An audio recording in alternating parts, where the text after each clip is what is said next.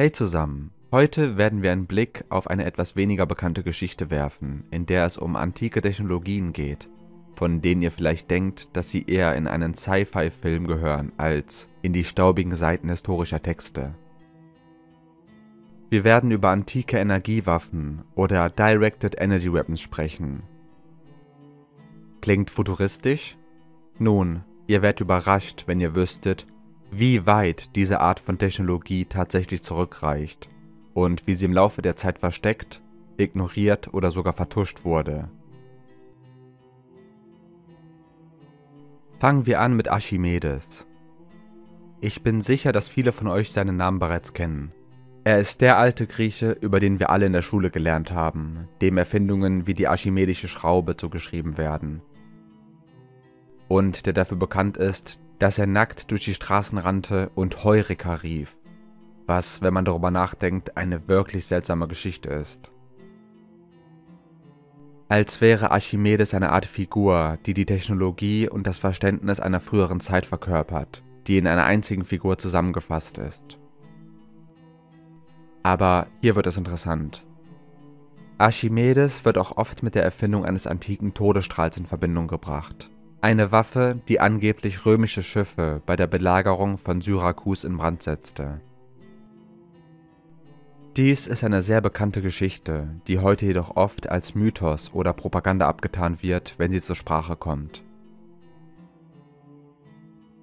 Was ist hier also los? Könnte diese Geschichte mehr Wahrheit enthalten, als man uns glauben machen will? Und wenn es sich wirklich um ein antikes Gerät handelte, das Metall schmelzen konnte, was sind dann die Implikationen? Könnte es ein Werkzeug gewesen sein, um einen Reset zu bewirken, kriegsführende Nationen auszulöschen oder sogar ganze Zivilisationen auszulöschen? Archimedes ist berühmt für seine Prinzipien der Hydrostatik und Mechanik, die sich in Erfindungen wie der Archimedes-Schraube für die Bewässerung und in mechanischen Vorrichtungen wie der Archimedes-Klaue widerspiegeln, von der angenommen wird, dass sie in der Antike tatsächlich benutzt wurde. Doch aus irgendeinem Grund halten Historiker diesen antiken Wärmestrahl für eine zu fantasievolle Geschichte, die auch außerdem von Mythbusters entlarvt wurde. Sogar der History Channel hat ein Video darüber, aber sie erwähnen nur die Informationen und sagen dann, dass es sich um Außerirdische handelt was eine Schande ist. Ist es zu weit hergeholt zu glauben, dass die Alten einen Weg gefunden haben, Licht für thermische Anwendungen zu verstärken? Wenn Archimedes andere Erfindungen nicht nur plausibel, sondern revolutionär waren, warum sollte dann diese spezielle Geschichte eine Erfindung sein? Liegt es nicht im Bereich des Möglichen, dass ein Genie, das mehrere Bereiche der Wissenschaft revolutioniert hat, einen Weg finden konnte, Sonnenlicht als Waffe zu bündeln, vor allem wenn man bedenkt, dass moderne Experimente zwar nicht allgemein bestätigt sind, aber doch gezeigt haben, dass es möglich ist, Sonnenstrahlen zu bündeln, um ein brennbares Material zu entzünden? Könnte es also sein, dass wir es mit verschiedenen Interpretationen oder sogar verlorenen Varianten eines antiken Gerätes zu tun haben? Es ist auch wichtig zu wissen, dass das Verständnis der Optik in der Antike alles andere als rudimentär war. Die Griechen und Römer hatten ein recht ausgefeiltes Verständnis von Linsen und Lichtreflexion. Ein Text aus Antike legt nahe, dass Archimedes Brennglas als Teil seines Todesstrahls verwendete. Damit eröffnet sich ein ganz neues Feld. Verwechseln wir nicht Brennspiegel, auch bekannt als Hohlspiegel, mit Brenngläsern oder Lupen. Zwei Technologien, die sich zwar ähneln, aber nicht dasselbe sind. Diese Unterscheidung könnte der Schlüssel zum Verständnis der verschwommenen Grenze zwischen Mythos und Realität in der Archimedes-Geschichte sein. Es könnte sein, dass das, was wir heute als Todesstrahl bezeichnen, in Wirklichkeit eine Weiterentwicklung von Brenngläsern oder Fresnel-Linsen und Spiegeln war die in der Antike legitime und vielfältige Anwendungen hatten. Brenngläser sind seit Jahrtausenden ein faszinierendes Thema.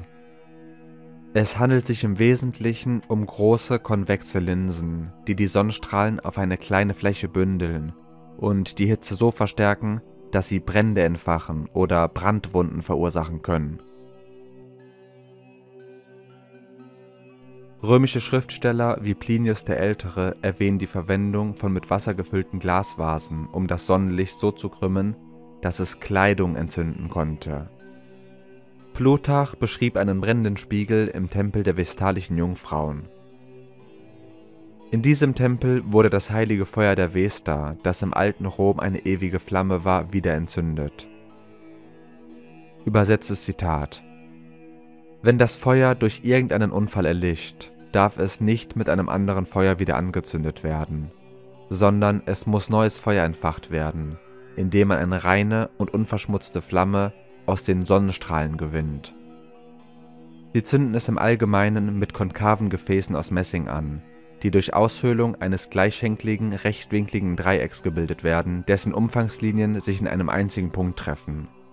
Indem man dieses Gefäß gegen die Sonne stellt, konvergieren die Strahlen in der Mitte, die durch Reflexion die Kraft und Aktivität des Feuers annehmen, die Luft verdünnen und sofort die leichte und trockene Materie entzünden, die sie für angebracht halten.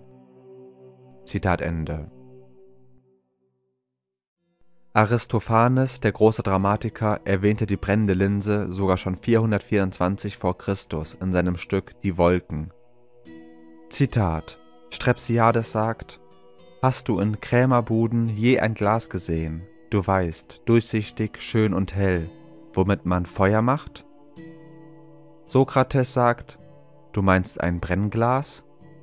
Strepsiades antwortet, Das meine ich.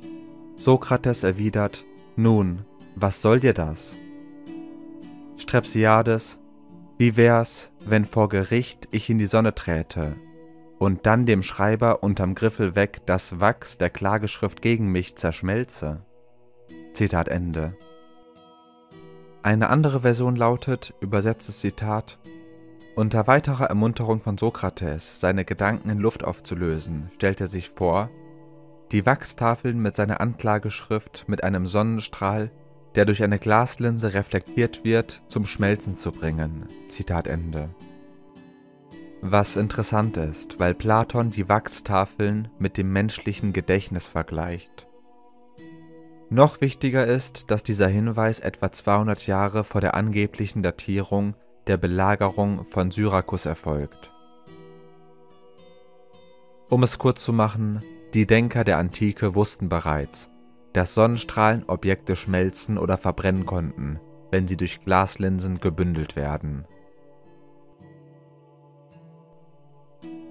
Es ist auch erwähnenswert, dass Fresnel-Linsen ursprünglich als Brenngläser bezeichnet wurden und im Grunde das gleiche bewirken. Bei unseren Recherchen über Leuchttürme bin ich auf zahlreiche Berichte gestoßen, in denen behauptet wird, dass die Fresnel-Linsen an der Spitze wie ein Todesstrahl wirken könnten. Interessanterweise besaßen fast alle ursprünglichen Leuchttürme Fresnel-Linsen, die aber in der Neuzeit bequemerweise ersetzt worden sind. Es gibt sogar Videos im Internet, die die beeindruckende Kraft dieser Fresnel-Linsen demonstrieren. Sollen wir wirklich glauben, dass dieses Wissen im Altertum nicht vorhanden war? Diese scheinbare Legende von Archimedes kann missverstanden werden, weil sie erst Jahrhunderte nach dem Ereignis von anderen griechischen Autoren erörtert und in Betracht gezogen wurde. Das Fehlen von zeitgenössischen Quellen hat Skepsis hervorgerufen. Es ist jedoch durchaus möglich, dass eine solch bahnbrechende Technologie unter Verschluss gehalten wurde. Nur weil einige griechische Historiker wie Polybius, Titus und Plutarch über die römische Belagerung von Syrakus berichteten, den Todesstrahl aber nicht erwähnten, heißt das nicht automatisch, dass er nie existierte. Könnte es sein, dass eine so verheerende Waffe absichtlich aus den historischen Aufzeichnungen weggelassen wurde? Wenn wir für die Idee offen sind, dass Archimedes selbst eine erfundene Figur sein könnte, die geschaffen wurde, um die Technologien einer vergangenen Ära zu beherbergen, dann könnte das Schweigen über diese Waffe aufschlussreicher sein, als wir denken. Ein weiterer Punkt, den Skeptiker oft anführen, ist Diokles, der 50 Jahre nach Archimedes geboren wurde und ein Werk mit dem Titel On Burning Mirrors schrieb. Das ist das erste Dokument, das beweist, dass parabolische Spiegel Licht bündeln können. Kritiker weisen darauf hin, dass Dio zwar von einem Zeitgenossen des Archimedes spricht, aber nie erwähnt, dass Archimedes einen Todesstrahl gebaut hat. Diokles ganzes Werk handelt buchstäblich davon, wie man Dinge mit Spiegeln verbrennen kann. Außerdem haben wir nicht einmal den Originaltext, sondern nur Übersetzungen und Kopien. Interessanterweise erwähnt Diokles gleich nach der Diskussion über das Verbrennen mit Spiegeln Archimedes im Zusammenhang mit der Geometrie.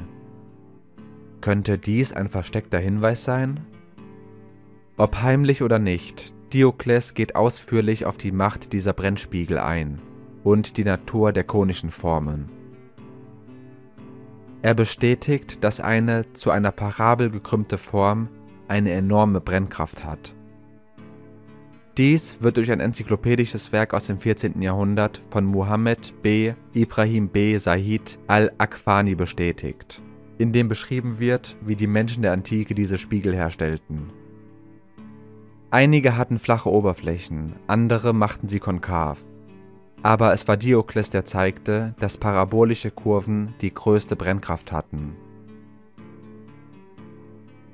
Sollen wir also glauben, dass die Geschichte nicht wahr ist, nur weil es widersprüchliche Aussagen gibt? Oder könnte es sein, dass wir nicht das ganze Bild sehen? Betrachten wir für einen Moment die Hypothese der Phantomzeittheorie. Warum klaffen die arabischen Quellen und die antiken griechischen Autoren in dieser Frage so weit auseinander? Könnte es sein, dass diese Geschichte vom nackten Mann, der durch die Straßen rennt und Heureka rief, übertrieben oder sogar erfunden ist? Was zu den Ungereimheiten in diesen historischen Berichten beiträgt? Interessant ist, dass weitere Hinweise auf Archimedes und seinen Todesstrahl etwa 400 Jahre nach seinem angeblichen Tod in den gängigen Zeitrechnungen auftauchen. Diese Hinweise finden sich in Texten wie Hippias or Thebes, der Lukian von Samosata zugeschrieben wird. In diesem umstrittenen Text gibt es jedoch eine direkte Anspielung auf die Geschichte des Todesstrahls von Archimedes. Archimedes soll mit Hilfe der Wissenschaft feindliche Schiffe verbrannt haben. Er erwähnt zwar nicht ausdrücklich den Todesstrahl, aber es gilt als altertümlicher Hinweis darauf, dass Archimedes Feuer in Kombination mit Wissenschaft oder fortgeschrittene Fähigkeiten einsetzte, um feindliche Schiffe zu zerstören. Nun, das ist eine große Sache. Man könnte argumentieren, dass es sich einfach nur um eine innovative Nutzung des Feuers handelt, ähnlich wie beim griechischen Feuer. Aber warum ist der Autor dann nicht weiter ins Detail gegangen? gibt es angesichts der Tatsache, dass das Thema des Verbrennens mit Spiegeln und Gläsern uralt ist, einen Grund, warum dieses besondere Wissen in den Bereich der Mythen verbannt wurde? Die beiden anderen antiken Hinweise auf diesen Todesstrahl stammen aus einer medizinischen Abhandlung von Galenos. Er sagt, übersetztes Zitat, Ich nehme an, dass es heißt, Archimedes habe die feindlichen Schiffe mit feurigem Zeug in Brand gesetzt. Zitat Ende. Aber die Übersetzung ist nicht 100% zuverlässig. Das hier verwendete griechische Wort ist ein wenig rätselhaft, wenn es um Feuer geht. Es könnte sich auf heilige Feuer oder Feuer im Zusammenhang mit Opfergaben beziehen. Die Geschichte wird also ein wenig komplizierter. Die nächste Erwähnung erfolgt etwa 700 Jahre nach Archimedes. Skeptiker fragen oft, warum diese Ereignisse nicht in früheren Quellen erwähnt werden. Wie kann jemand Jahrhunderte später auftauchen und von einer so fantasievollen Geschichte sprechen, wenn so viel Zeit seit den tatsächlichen Ereignissen vergangen ist? Dies ist kein endgültiger Beweis, aber es bringt ein Element der Verwirrung in unsere Vorstellung der Zeitlinie der Geschichte. Der nächste Hinweis stammt von dem Mathematiker Anthemius von Trallas, der versuchte, die Methode zu entschlüsseln, die Archimedes verwendet haben könnte. Er schlägt vor, dass Archimedes römische Schiffe mit Hilfe von Spiegeln in Brand gesetzt hat. Das bedeutet, dass die Menschen die Geschichte kannten und das Ergebnis verstanden, nämlich dass die Schiffe aus der Ferne in Brand gesetzt wurden. Was ihnen fehlte, war die spezifische Methode, Technik oder Eigenschaft, die man braucht, um dies zu reproduzieren. Anthemius spekuliert, dass dies mit Hilfe von Spiegeln geschehen sein könnte. Seine Behauptungen stammen aus einem Manuskript mit dem Titel Mechanical Paradoxes, in dem sogar ein ganzes Kapitel den Brenngläsern gewidmet ist. Anthemius Spekulation ist nicht nur ein Schuss ins Dunkle. Er scheint ziemlich überzeugt davon zu sein, dass diese Methode tatsächlich zu einem großen Feuer führen könnte, wohin auch immer es gerichtet wurde. Die Erzählung, die wir oft hören, dreht sich um den defensiven Einsatz dieser Technologie, insbesondere gegen angreifende Flotten. Aber was wäre, wenn ihre Anwendungen über die Verteidigung hinausgehen? Was wäre, wenn es andere Verwendungszwecke gab, die so einschneidend und potenziell gefährlich waren, dass uns nur wenige Details über ihre Konstruktion überliefert wurden? Skeptiker sehen die unterschiedlichen Versionen dieser Geschichte als Beweis dafür, dass sie erfunden sind, aber ich sehe das anders. Für mich sind diese Diskrepanzen kein Beweis dafür, dass diese Geschichte falsch ist sondern eher dafür, dass es sich um ein Stück verlorener Technologie handelt. Die Berichte, die wir haben, sind wahrscheinlich Versuche, sie zu rekonstruieren oder wiederzuentdecken. Wenn es vor der Zeit des Archimedes keine Erwähnung der Verwendung von Brennspiegeln durch Anthemius gab, woher hatte er dann die Idee? Die Behauptung, dass dies alles einfach aus dem Nichts erfunden wurde, ist also nicht wirklich überzeugend. Erinnern wir uns daran, dass Diskussionen über parabolisch gekrümmte Spiegel, die in der Lage waren, Licht in intensive Hitze zu bündeln, nur 50 Jahre nach Archimedes Tod aufkamen und dass die Brenngläser und Spiegel im antiken Rom sogar für banale Dinge wie das Kochen von Speisen verwendet wurden. Könnte es also sein, dass Archimedes als eine Art Deckmantel dient? Eine Symbolfigur, die für eine verlorene Technologie steht? die eine Kombination aus gebogenen Spiegeln und Linsen verwendet? 1973 führte der griechische Wissenschaftler Dr. Ioannis Sakkas ein Experiment durch, bei dem 60 Matrosen mit länglichen Spiegeln die Sonnenstrahlen auf ein 160 Fuß entferntes Holzschiff fokussierten und es erfolgreich in Brand setzten. Dies liefert den modernen Beweis dafür, dass Archimedes möglicherweise eine ähnliche Technologie verwendet haben könnte. Dieses Konzept wird auch von den heutigen Solaröfen unterstützt, die nach einem ähnlichen Prinzip funktionieren und extrem hohe Temperaturen erreichen. Interessant ist, dass in der Beschreibung des angeblichen Geräts von Archimedes zwischen Brennglas und Spiegeln gewechselt wird. Es könnte sich um ein Übersetzungsproblem handeln. Oder vielleicht benutzte Archimedes tatsächlich eine Art Linse oder antikes Vergrößerungsglas, um Schiffe aus der Ferne in Brand zu setzen. Skeptiker wie Kepler und Descartes lehnen die Idee als Fantasie ab, doch ihre Gültigkeit wird von zahlreichen anderen wie Diodoros Siculus, Lukian, Dion, Sonaras, Galen, Anthemius, Eustachius und Setzis bestätigt.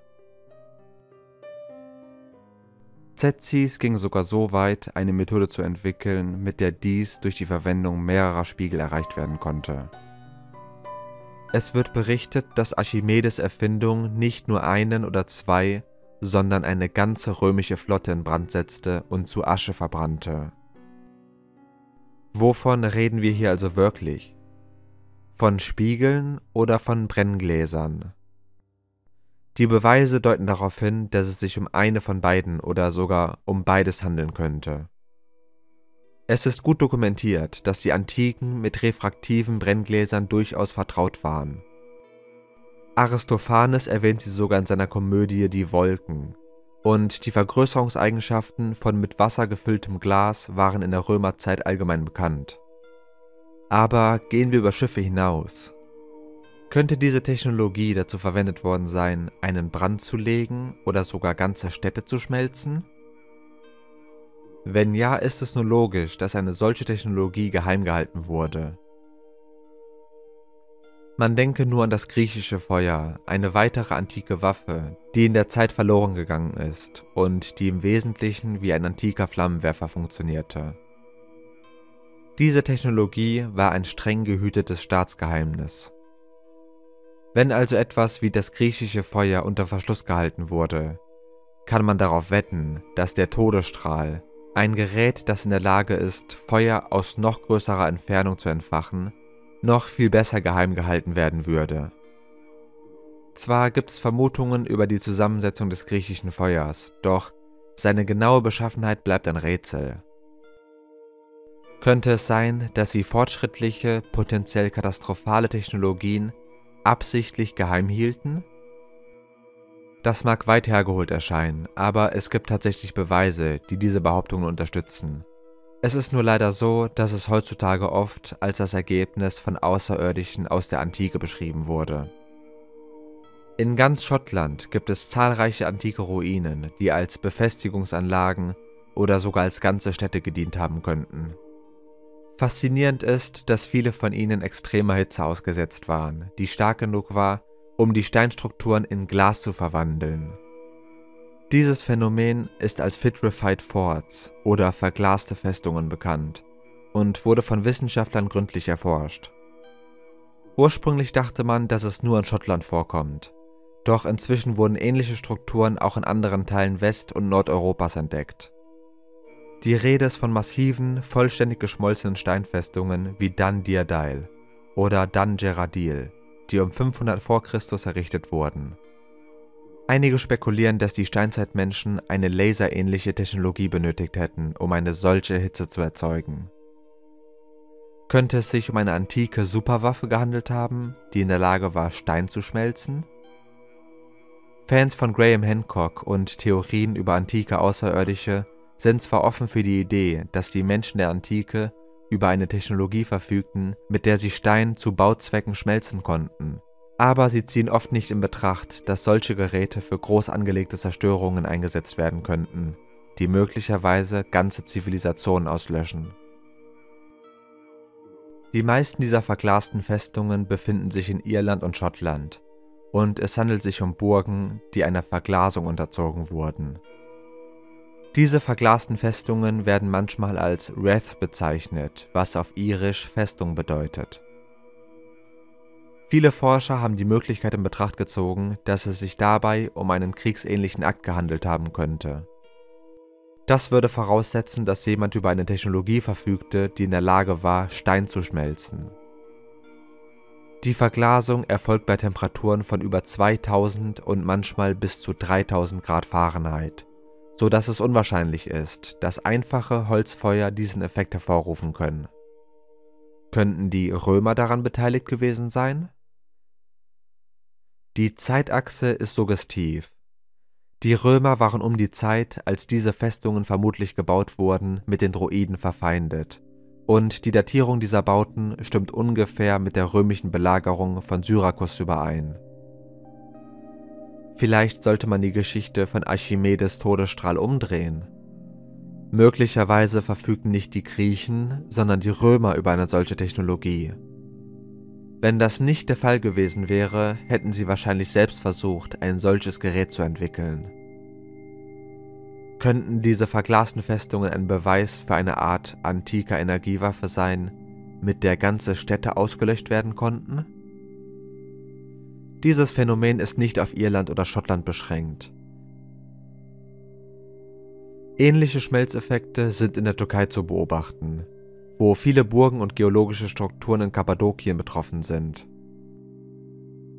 Obwohl Irland oft mit verglasten Festungen in Verbindung gebracht wird, ist dieses Phänomen auch mit Schottland verbunden, da viele dieser Strukturen auf die Zeit zwischen 1200 v. Chr. und 400 nach Christus zurückgehen. Die bekanntesten Beispiele in Irland sind die verglasten Burgen in der Nähe des Dorfes Shantemon in der Grafschaft Cavan und eine weitere in der Grafschaft Londonderry, Nordirland. Beide Burgen befinden sich auf privatem Grundstück, so dass man für eine Erforschung die Erlaubnis der Grundstückseigentümer benötigt. Die gängige Erklärung besagt, dass diese Festungen aus Holz und Stein gebaut wurden, und dass das Holz dann angezündet wurde, um den Stein zu schmelzen. Es gibt jedoch mehr Beweise für die Existenz des Todesstrahls von Archimedes als für diese spezielle Baumethode, die in keinem antiken Text erwähnt wird. Wäre das nicht eine nähere Betrachtung wert? Während mehrere antike Referenzen das Konzept des Todesstrahls unterstützen, haben mehrere Experimente auch dessen Realisierbarkeit bewiesen. Andererseits haben keine modernen Experimente erfolgreich gezeigt, dass man Stein auf diese Weise mit Holz für Bauzwecke schmelzen kann. Das Phänomen der Verglasung ist nicht auf Irland und Schottland beschränkt, sondern wird in der gesamten alten Welt untersucht. Einige Forscher haben sogar in Frage gestellt, ob die in der alten peruanischen Architektur verwendeten Steine geschmolzen wurden. Vielleicht besteht ein Zusammenhang mit den Wispy-Linsen, eine Sammlung von Gegenständen aus Bergkristall, die in Wikingergräben auf der Insel Gotland in Schweden gefunden wurden. Diese Linsen stammen aus dem 11. oder 12. Jahrhundert und besitzen erstaunlich fortschrittliche Eigenschaften, wie biasphärische Oberflächen und optimierte Oberflächenprofile für eine bessere Bildqualität. Interessanterweise wurden die meisten dieser Wispy-Linsen zusammen mit Artefakten aus der Wikingerzeit entdeckt aber ihr handwerkliches Niveau deutet auf ein Wissen über Optik hin, das es nach Ansicht der etablierten Wissenschaft damals noch nicht gegeben haben dürfte. Es wird spekuliert, dass diese Linsen in Byzanz oder Osteuropa hergestellt worden sein könnten, aber das erklärt nicht, wie sie zu den Wikingern auf Gotland gelangten. Interessanterweise besaßen die Goten von Gotland auch viele Sonnenruhensteine, es gibt Vermutungen, dass diese Linsen zur Vergrößerung, zum Bau von Teleskopen und sogar zum Entzünden von Feuer verwendet wurden. Zwar wissen wir heute, dass es überzeugende Beweise dafür gibt, dass intensive Hitze einige antike Städte oder Festungen in Glas verwandelt hat.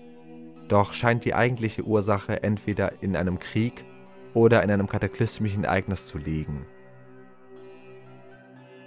In den mittelalterlichen Überlieferungen gibt es viele Geschichten von riesigen Feuern, die vom Himmel herabsteigen und Städte vernichten. Diese Art von Erzählung ist nicht neu. Wir haben alle von der biblischen Geschichte von Sodom und Gomorra gehört, wo es Schwefel und Feuer regnete, ähnlich wie das griechische Feuer. Die Frau von Lot wurde in eine Salzsäule verwandelt oder verglast. Wenn es sich nicht um einen Todesstrahl handelte, waren einige antiken Kulturen möglicherweise in der Lage, Feuer über eine große Entfernung zu projizieren und seine Hitze durch spezielle Methoden zu verstärken? In Ilias von Homer greifen die Götter oft ein, indem sie Feuer in verschiedenen Formen herabschicken, um der ein oder anderen Seite zu helfen. Antike Texte aus China und Indien beschreiben ebenfalls etwas, das man als fortschrittliche Kriegsführung bezeichnen könnte nämlich Feuerpfeile und andere Waffen, die über große Entfernungen verschossen werden konnten. Einige behaupten, dass es sich dabei um ausgeschmückte Schilderungen realer historischer Ereignisse handeln könnte, die möglicherweise eine Form von antiker Technologie oder Naturphänomen beinhalten. Auch die Camera Obscura steht damit in Verbindung. Das Konzept der Camera Obscura, das von Aristoteles im 4. Jahrhundert vor Christus erwähnt und später von dem chinesischen Moisten und dem irakischen Gelehrten Ahasan weiterentwickelt wurde, zeigt das antike Interesse an Optik und Lichtmanipulation. Chen Ku, ein Staatsmann aus der chinesischen Song-Dynastie, war der erste, der die Beziehung zwischen Brennpunkten und der Lochkamera in seinem Traumpool-Essay von 1088 nach Christus klar darlegte. Es gibt auch biblische Berichte, wie die Trompeten bei der Schlacht von Jericho, die als möglicher Hinweis auf antike Energiewaffen gedeutet werden können. Der Erzählung zufolge marschierten die Israeliten um die Mauern von Jericho herum, wobei die Priester, die die Bundeslade trugen, in die Hörner bliesen. Die Stadtmauern zerfielen dann auf wundersame Weise, sodass die Israeliten einen verheerenden Angriff durchführen konnten. Handelt es sich hierbei um eine Art antiker gerichteter Energiewaffe, die möglicherweise die Nutzung von Schallenergien andeutet? Dieses Verständnis hat seine Wurzeln in der antiken Kymatik, die in der antiken Architektur für positive spirituelle Bestrebungen eingesetzt wurde. Es ist jedoch möglich, dass dasselbe Wissen auch für ruchlosere Zwecke genutzt wurde, zum Beispiel um Zerstörung zu verursachen. Das Buch der Offenbarung geht noch tiefer und beschreibt die sieben Siegel, die sieben Posaunen und das Ausgießen der sieben Schalen des Zornes, die alle zu katastrophalen Ereignissen auf der Erde führen. So lässt die erste Posaune Hagel und Feuer vermischt mit Blut herabregnen und verbrennt ein Drittel der Bäume und alles grüne Gras. Offenbarung 8, Vers 7. Es ist gut möglich, dass diese Erzählungen eine Form von fortgeschrittener, möglicherweise waffenartiger Technologie oder Phänomen beschreiben und nicht nur göttliches Eingreifen. Die Vorstellung von Trompeten oder gezielten Waffen, die örtlich begrenzte Zerstörung verursachen, ist ein wiederkehrendes Thema in verschiedenen mittelalterlichen Handschriften, was darauf hindeutet, dass an diesen Berichten etwas dran ist. Und die Technologie des Brennglases ist nicht nur auf Archimedes beschränkt. Wir sollten auch zwischen Brennlinsen und Brennspiegeln unterscheiden. So soll beispielsweise Proclus, eine Figur aus dem 6. Jahrhundert, eine solche Technik eingesetzt haben, um die vitalische Flotte während der Belagerung von Konstantinopel zu zerstören. Auch Al-Hasan erörtert Brenngläser in seinem Buch der Optik, das seinerseits auf älteren griechischen Werken beruht. Roger Bacon, der berühmte Alchemist des 13. Jahrhunderts, schrieb ebenfalls über die Möglichkeiten von Brenngläsern und anderen optischen Geräten. Die Tatsache, dass diese Technologien von Alchemisten diskutiert wurde, lässt auf ein gewisses Maß an Geheimhaltung oder Spezialwissen schließen. Es gibt zahlreiche alchemistische Stiche, in denen diese Geräte abgebildet sind. Und auch Giambattista della Porta, der Autor von Natural Magic spricht über die Anwendung von Brenngläsern. Stiche aus dem 17. Jahrhundert bestätigen, dass diese Linsen für praktische Zwecke wie das Entzünden von Feuer verwendet wurden, was ihre Existenz und Verwendung um 1650 bestätigt. Im Bereich der optischen Studien bietet die Korrespondenz zwischen dem walisischen Mathematiker John Bulkley und Thomas Harriot in den späten 1590er Jahren mehr, als man denkt. Bulkleys Untersuchung über eine plansphärische Linse mit einem Durchmesser von 48 Fuß wurde weitestgehend als die Träumereien eines fantasievollen Geistes abgetan. Aber eine solche schnelle Ablehnung ist vielleicht voreilig. Harriets umfangreiche Berechnungen über die optischen und brennenden Eigenschaften der Linse deuten auf ein Maß an Ernsthaftigkeit hin, das uns fragen lassen sollte, ob es sich lediglich um eine theoretische Übung oder um die Erforschung von etwas Substanziellerem handelt. Harriets Genauigkeit, mit der er sowohl das Sign Law als auch die Interpolation des Reflection Table anwendet, zeugt von einem Wissenschaftler, der sich der Präzision verschrieben hat. Dies legt nahe, dass er das Konzept der großen Linse, die in der Lage ist, Objekte aus der Ferne zu verbrennen, nicht nur als amüsantes mathematisches Problem betrachtete. Außerdem arbeitete Harriot nicht isoliert. Die Idee großer Brenngläser war Teil einer englischen Tradition der Optikforschung, befeuert durch kühne Behauptungen wie die von Thomas Dix, der behauptete, dass die Brillengläser seines Vaters Objekte in einer Entfernung von einer halben Meile verbrennen konnte. Angesichts Harriots systematischer Entlarvungen von Dicks Behauptungen durch seine Berechnungen scheint es, als ob Harriot sich in einer Faktenüberprüfungsmission befand, um dieses Wissen geheim zu halten. Ich meine, betrachtet die zeitliche Abstimmung dieses Dialogs. Harriot untersuchte die Eigenschaften einer enormen Linse zu einer Zeit, als das Interesse an Optik rapide wuchs und das Gebiet der optischen Waffen sich über den Bereich der Alchemie und Folklore hinaus zu bewegen begann.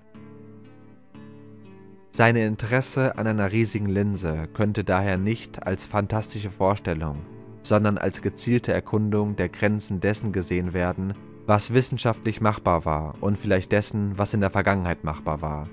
Aber aus bekannten Gründen verloren gegangen oder vertuscht wurde. Ob es sich nun um eine Vertuschung oder eine verlorene Kunst handelt. Die sorgfältige Studie einer solchen kolossalen Linse zwingt uns dazu zu überlegen, welche Fähigkeiten in einem weniger dokumentierten Zeitalter verstanden und vielleicht angewendet worden sein könnten. Betrachten wir die bedeutenden Beiträge, die Brenngläser zur Wissenschaft geleistet haben.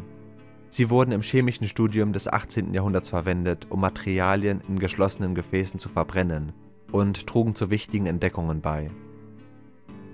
Linsen wie diese trugen zur Entdeckung der entpologistizierten Luft bei, dem, was wir heute als Sauerstoff kennen. Offensichtlich handelt es sich hier nicht nur um einen Trick aus dem Zauberkabinett. Dies ist ein Gerät, das unser Verständnis der Welt grundlegend geprägt hat.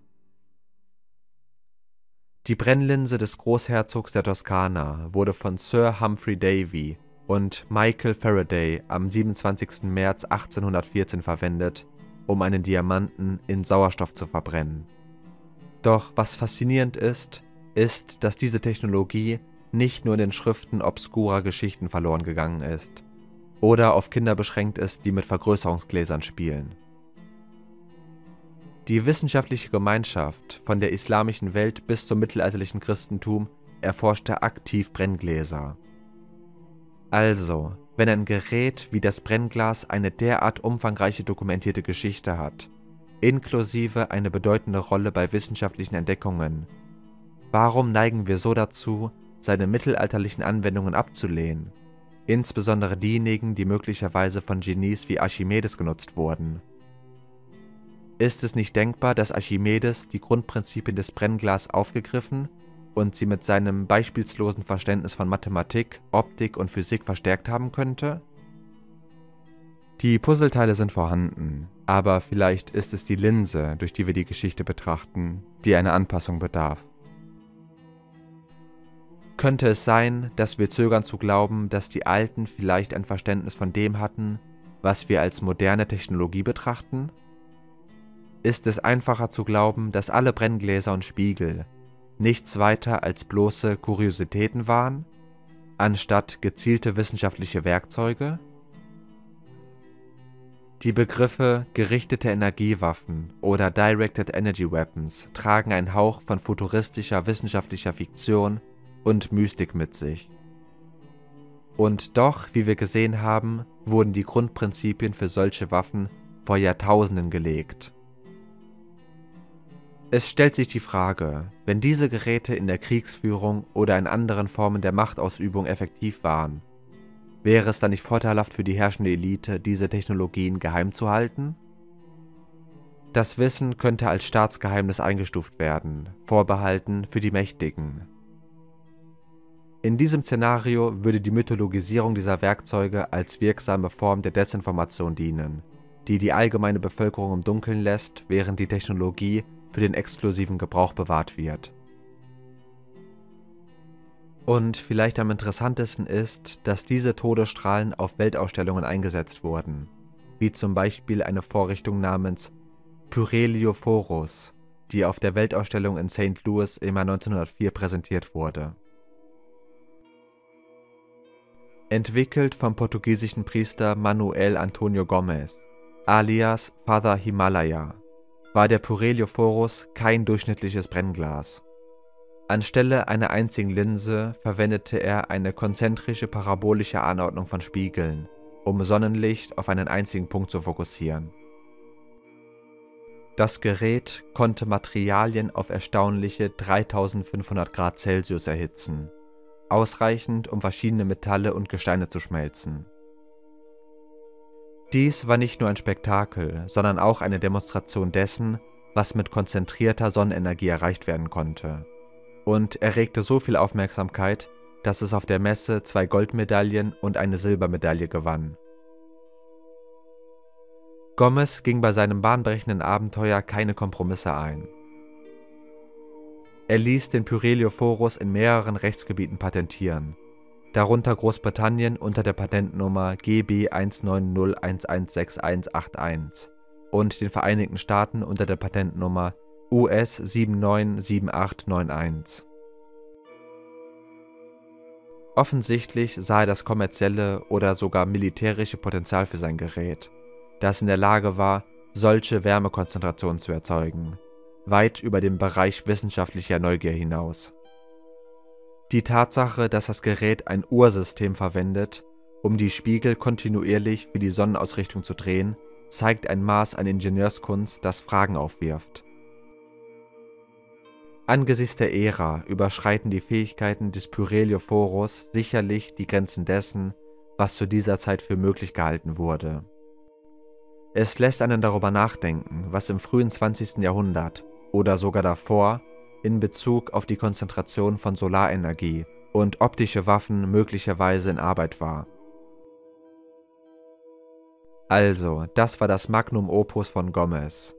Ein mechanischer Solar-Todesstrahlofen, der bei der Weltausstellung von 1904 in St. Louis einen großen Eindruck hinterließ. Nicht nur gewann die Vorrichtung den Hauptpreis, sondern sie konnte buchstäblich Temperaturen von fast 4000 Grad Celsius erreichen. Stellt euch vor, dass ein Gerät aus den frühen 1900er Jahren, bestehend aus einer Anordnung von Spiegeln, die mit einem Ursystem verbunden sind, in der Lage wäre, Basaltgestein oder jedes dem Menschen bekannten Metall alleine durch die Kraft der Sonne zu schmelzen.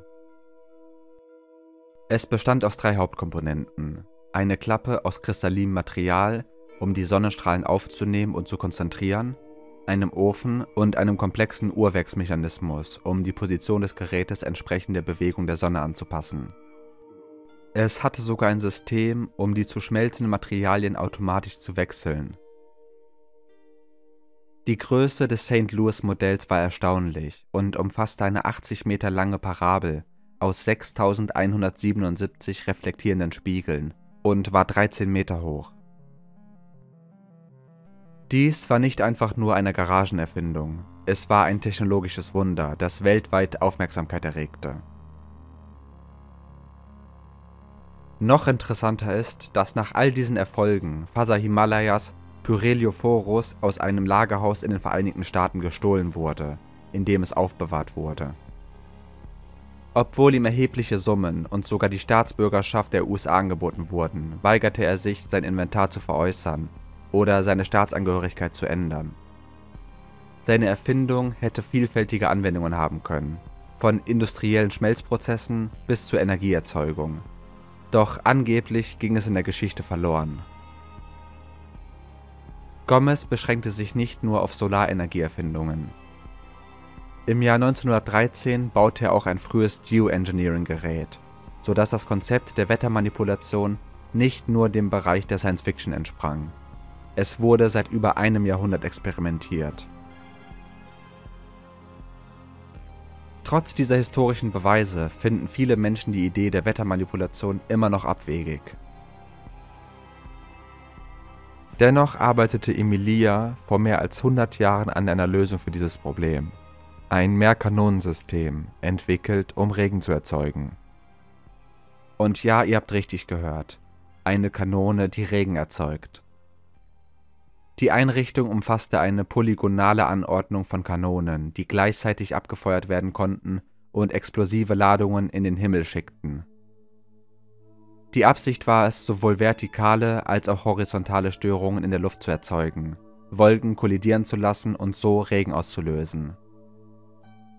So abwegig es auch klingen mag, erste Experimente im Gebiet Serra de Estrella behaupten, tatsächlich Regentropfen erzeugt zu haben, also funktionierte das System. Sie sagen, der Prozess sei zu teuer gewesen und das Abschießen ausreichend vieler Sprengstoffe, um das Wetter zu beeinflussen, habe ein Loch in den gesamten Etat gerissen. Daher wurde die Technologie trotz ihrer potenziellen Wirksamkeit auf Eis gelegt. Aber ich bin mir nicht sicher, ob ich diese Geschichte so einfach abkaufen würde. Und die Geschichte endet nicht dort. Tatsächlich geht sie bis nach dem Ersten Weltkrieg weiter, als Gerüchte die Runde machten, dass die Deutschen Father Himalayas Pläne gestohlen hatten, um eine Kanone zu entwickeln, die fälschlicherweise Dicke Bertha oder Wilhelm-Geschütz genannt wurde. Auch könnte der Pyrheliophorus per Heliophores oder per Eliophores ausgesprochen werden, da es verschiedene Versionen des Namens gibt, die du entdecken wirst, wenn du dich mit dem Thema beschäftigst. Vielleicht wurde er geändert, aber dieses Konzept war nicht übermäßig kompliziert. Die Idee existiert seit Jahrtausenden. Diocles diskutierte schon vor langer Zeit die leistungsstarken Brenneigenschaften parabolischer Spiegel und es gab Interesse an der Herstellung großer Linsen. Im Wesentlichen wäre lediglich eine Vorrichtung, die Sonnenlicht an einen bestimmten Punkt durch einen großen Spiegel oder ein Brennglas fokussieren könnte, erforderlich, um als primitivste Energiewaffe oder sogar als rudimentärer Laser zu fungieren. Also wurden Laser wirklich erst Mitte des 20. Jahrhunderts erfunden? Oder waren ähnliche Geräte schon den antiken Zivilisationen bekannt? Wenn solch ein Gerät existierte, das Objekte schmelzen oder aus der Ferne Feuer entzünden konnte, wurde es jemals für Kriegszwecke eingesetzt? Könnte es verwendet worden sein, um Schiffe oder sogar ganze Städte zu zerstören und sie aus den Geschichtsbüchern zu tilgen? Was denkst du? Besaßen die Antiken eine solche Technologie? Gibt es wirklich nichts Neues unter der Sonne? Lasst es uns in den Kommentaren wissen. Und wenn ihr uns unterstützen möchtet, dann schaut doch gerne in die Beschreibung. Dort findet ihr einen Link zu PayPal. Das würde uns sehr weiterhelfen. Ansonsten könnt ihr die Videos natürlich auch mit euren Freunden teilen. Das hilft auch. Und mit dem gesagt ist alles, was wir hoffen können, dass unser Verstand entschleiert wird.